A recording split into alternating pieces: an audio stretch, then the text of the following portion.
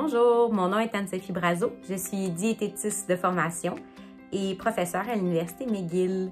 J'ai débuté ma carrière comme nutritionniste à l'unité de jour de diabète et j'ai tout de suite su que je voulais faire une différence dans le quotidien des gens qui vivent avec le diabète de type 1.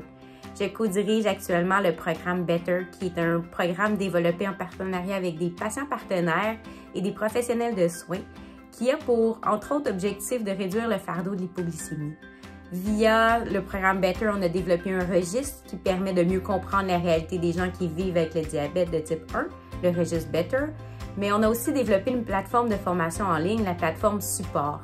Et mon équipe de recherche mène des études pour essayer de mieux comprendre le rôle de ces plateformes de formation en ligne pour euh, réduire l'hypoglycémie et les craintes liées à l'hypoglycémie, mais aussi de voir euh, comment on utilise ces plateformes en ligne et voir quel rôle ils ont dans, le, dans la trajectoire de soins des gens qui vivent avec le diabète de type 1. Et donc, je remercie la FRDJ et les donateurs de nous permettre d'essayer de comprendre comment on peut diversifier la formation et le soutien offert aux gens qui vivent avec le diabète de type 1 pour essayer de leur offrir une meilleure qualité de vie euh, ultimement. Donc, merci beaucoup. Au revoir.